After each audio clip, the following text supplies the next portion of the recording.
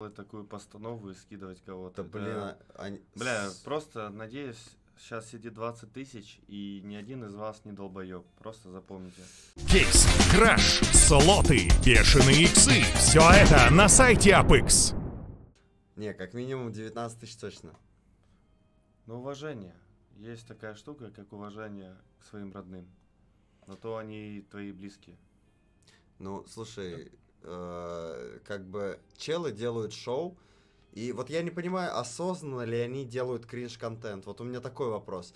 Вот они ре- Осознанно, осознанно. Вот если осознанно, респект. Если они реально думают, что в это кто-то верит, то тогда... да, и- Так в это кто-то и верит.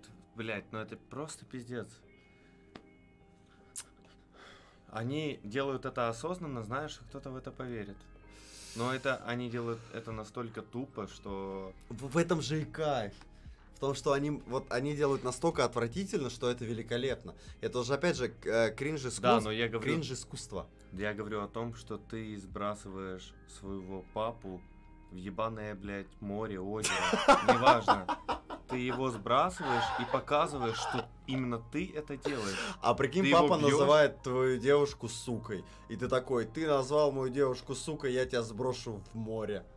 Да, но это Как, звучит охуенно, не? ну, это можно не выставлять. Это можно не Это показывать. можно не выставлять. Можно сделать все по-другому. Сказать, что она там, блядь, я не знаю.